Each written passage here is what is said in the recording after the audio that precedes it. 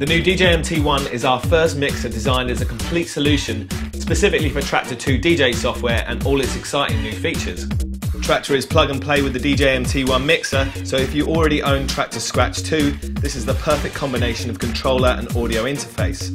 Apart from a laptop and decks, the Pioneer DJM T1 comes with everything you need to start DJing using control vinyl or control CDs.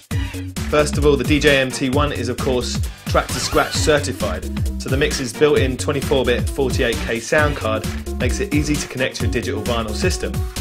It has dedicated MIDI controls for Traktor's sample decks and hot cues, browse and load tracks from the library, load a total of six effects with direct control of each, and there's auto loop and loop move controls. Of course, these MIDI controls can be mapped to older versions of Traktor and any other software that responds to MIDI.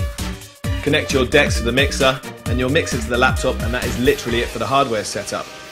Next, install the included free copy of Traktor Duo 2, which instantly recognises the mixer. Traktor recognises the DJM T1 and automatically assigns the inputs and outputs for DVS control. The DJM T1 crossfader has an exclusive Pioneer magnetic construction that provides extreme durability and can be used more than 10 million times.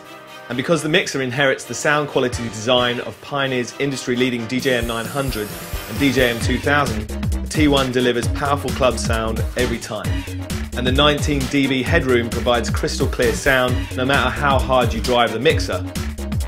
The new DJM T1 will be available in mid-July 2011, but if you want to try it out before, you need to get to the Frankfurt Music Messe show on the 6th and 9th of April 2011. Of course, we'll be doing our usual introduction performance videos very, very soon.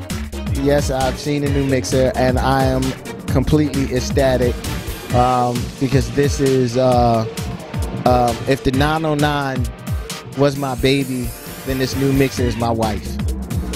So I'm I'm excited to spend some time with my wife and get to know her and, and see if we can travel the world together.